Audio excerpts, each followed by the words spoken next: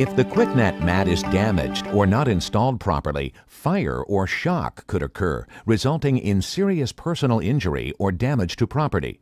Follow these warnings and instructions. The QuickStat thermostat must be used. It has a ground fault circuit interrupter to prevent electric shock. The QuickNet system must be installed by qualified personnel familiar with generally accepted construction techniques and safe electrical practices. The installation must comply with all national and local electrical codes.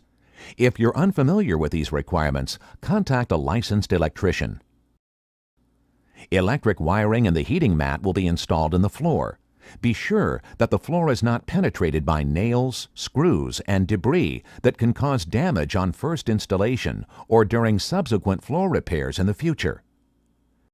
If the QuickNet system is damaged during installation, contact your local distributor or the place where you purchased your QuickNet system for the QuickNet RK Repair Kit.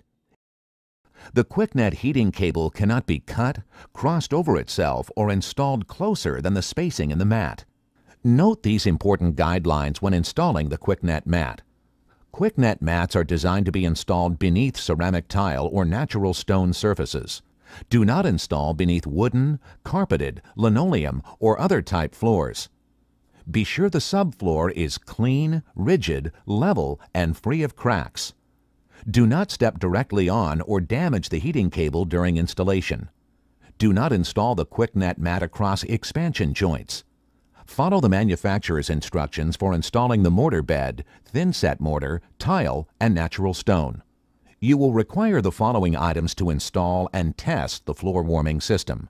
Scissors, utility knife, wire strippers, tape measure, screwdriver, multimeter with clip leads, you will also need the appropriate tools and materials to install your particular floor.